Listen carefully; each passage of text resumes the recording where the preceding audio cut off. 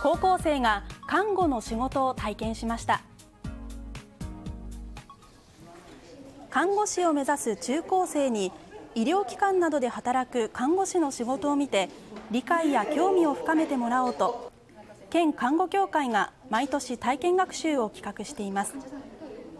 今日は大分市内の高校生3人が参加し病棟や手術室で実際に看護師が働く様子を見たり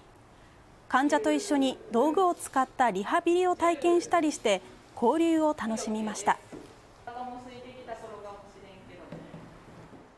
うんなんか普段は見れない姿を自分の目で見ることができたのですごく良かったです。